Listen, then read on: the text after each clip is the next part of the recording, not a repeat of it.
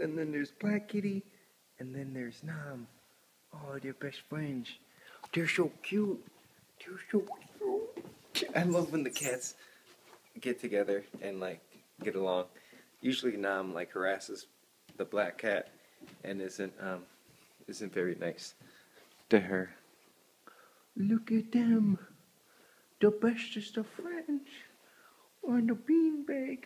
Beanbag friends. Oh, it's so cute. I just want to cuddle with them. I want to cuddle with these kitties. Good kitties. That's a good kitty for you, and two good kitties for you.